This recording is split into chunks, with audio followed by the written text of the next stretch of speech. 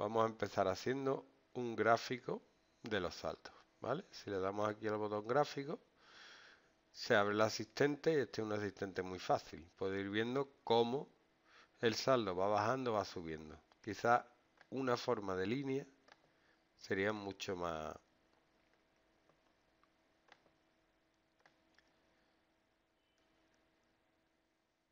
mucho más significativa. Aquí vemos cómo los saldos van subiendo y cómo el saldo pues aquí sube, aquí baja, etcétera. Como vemos, eso lo podemos poner en 3D.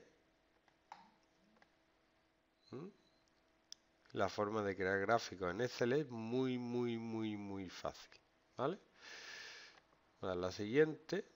Si quiero los datos en fila en columna, pone la primera fila como etiqueta, que sería saldo, efectivamente. Está perfecto.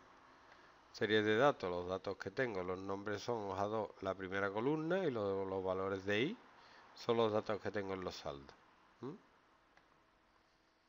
Y luego le pongo un título, etcétera. Saldo de mi cuenta. JLV. Entonces le voy a poner un nombre en el eje X, que sería en el eje X mes. Y, saldo. Y ya está. Incluso le puedo poner en el eje X la cuadrícula. De modo que me muestra las dos cuadrículas. Y finalizar. La leyenda también la voy a cambiar de sitio.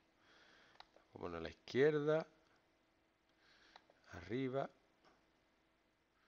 a la derecha o abajo. Ahora podemos poner abajo. ¿Vale? Y así se crea una gráfica en Calc. Como vemos es fácil, fácil, fácil, fácil.